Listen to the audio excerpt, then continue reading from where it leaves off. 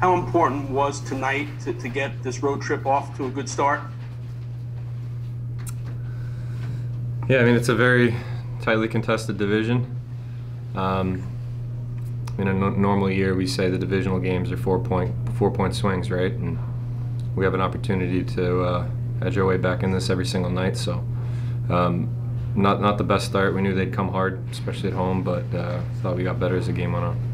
Chris, with uh, obviously you have a, a, big win, you get a hat trick, but to see Igor leaving the game like that, what what does that do for your bench? I mean, what's the mood in the room right now? Um, yeah, that, that hurts, especially the, the way Igor's been playing. Um, so hopefully it's uh, not too serious and not too long, but at the same time we got some very capable goalies who uh, sure ready to step up and help us win games. Chris, you know, given the circumstances the team is under, no Panarin, no Trouba, and with Zibanejad having some struggles offensively, what has been your mindset as a veteran and feeling the need to step up? How have you approached that challenge?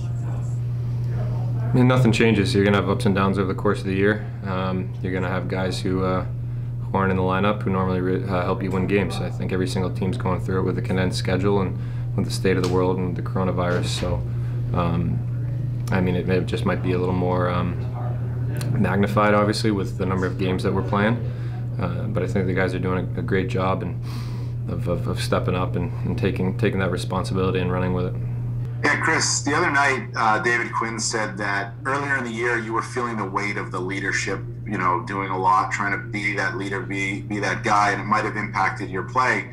Has that, you're still leading, but is it, have you found the balance, I guess, uh, for this particular season and in the unique circumstances? Um, I don't mean to disagree with the coach, but I don't necessarily think that was true. Um, I think at times I might have been a little too structure conscious and uh, really trying to limit the, the chances that some of those top lines were getting. Um, not that we're not focusing on D now, but um, I think as, as a group we took a step back to, to hopefully take a couple steps forward. We weren't a strong team defensively last year, and it's something that we all needed to focus on, young guys and vets alike. Um, and I think we've we've improved on that, and we have to continue to improve on that.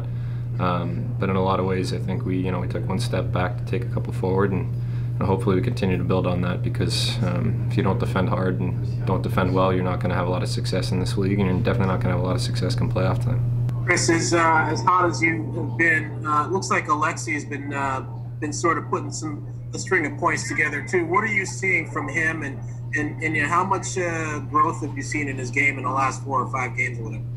I mean, there's another guy who was very uh, defensively responsible and conscious during the season and wanted to play the right way and um, I mean, I was so impressed early on by the little things he was doing in the D zone, and uh, you just you knew the offense was there and that the offense was, was going to come along. And um, he's just a very even keeled, even keeled player. Um, I mean, all he all he cares about is winning.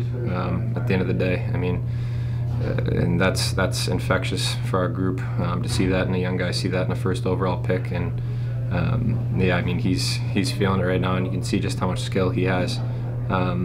I mean, a lot of you guys have, have been mentioning Mika, but I, I, think I think that whole line has been playing so well. I think Mika's been playing really well.